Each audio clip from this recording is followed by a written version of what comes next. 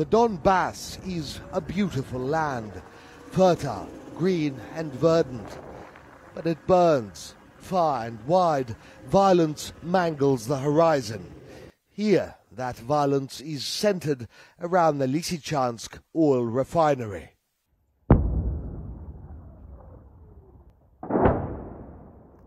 Reaching here was neither safe nor easy. This is a vast industrial zone surrounded by open terrain, a firing range for artillery. The industrial complex itself, though, is incredibly similar to Mariupol's infamous Azov steel plant, a warren of buildings, tunnels, and defenses.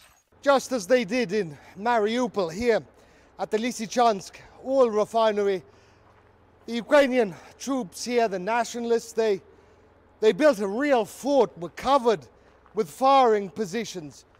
They left here, as they did, Mariupol, without much of a fight. But when Russian troops and Allied forces came in, they were met with a storm of artillery and rockets. Nothing has been spared in the endless shelling. Ukraine has thrown almost everything in its arsenal at the refinery.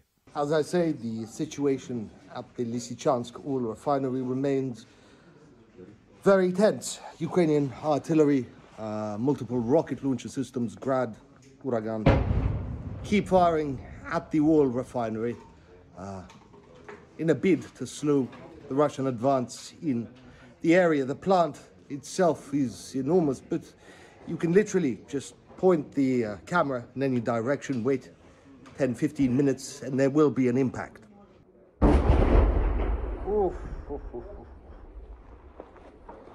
It isn't just the sky and the shells screaming through it that are dangerous, but the ground itself. We were warned in no uncertain terms to watch our every step.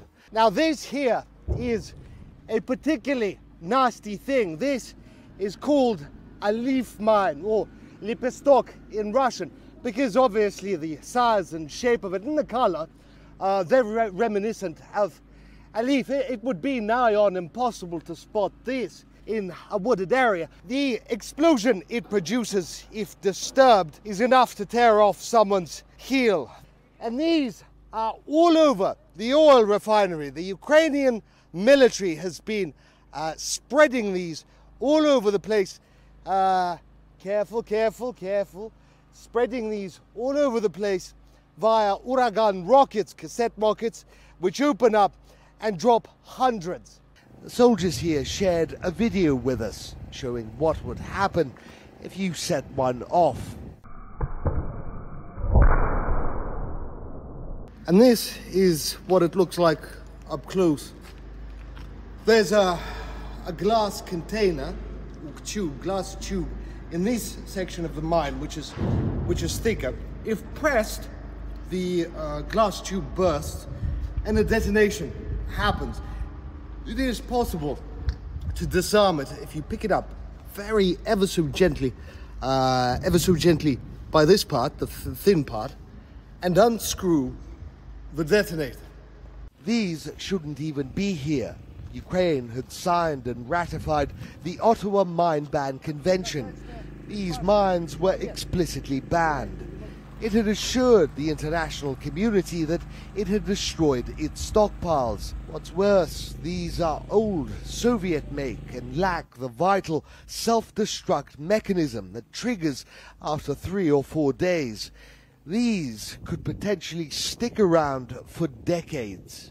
The Lysychansk oil refinery is now relatively far from the front lines. The thunder and roar of blasts here is slowly waning. But what happened here, the blind mining of dozens of square kilometers of industrial property, of farms and fields, will haunt this place and the local population for years. Murad Gazdiev, RT, from the Lugansk People's Republic.